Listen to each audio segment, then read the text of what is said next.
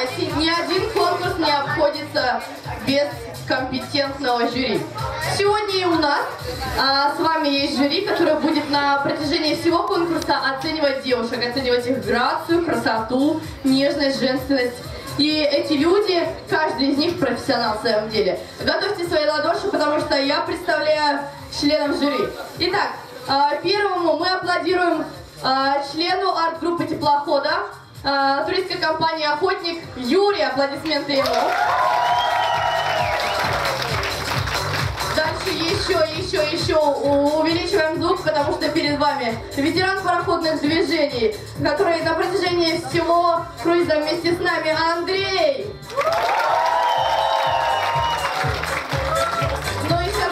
Должна зашкаливать, потому что председатель жюри, руководитель смены и директор лагеря «Синий краб» Александр Леонидович.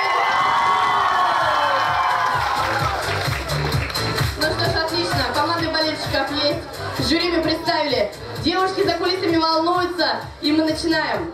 Жюри, пожалуйста, очень компетентно, серьезно, все как, все как, все как надо, да?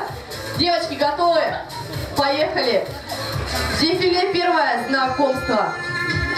Нам что-то записывать. Я не виду. Мы уже дефиле должны. Участница под номером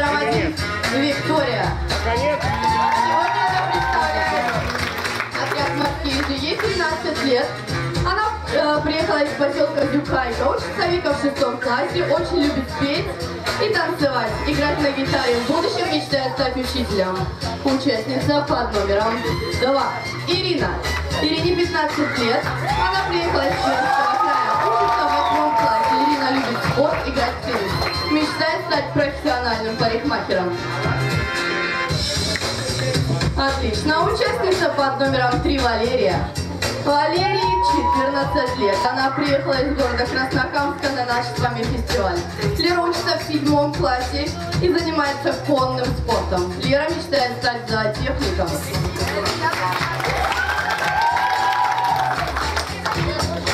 Участница под номером 4 Алина. 12 лет. Алина учится в пятом классе и мечтает побывать в самом романтичном городе Париж. Участница под номером 5 Ксения. Ксения сегодня представляет отряд «Чайник». Ксении 13 лет. Ксюша живет в городе Куктур. Ксюша мечтает стать профессиональной певицей и выступать на сцене.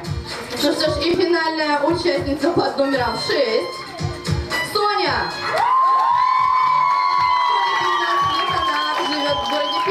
Восьмом классе, мечтает стать профессиональным юристом.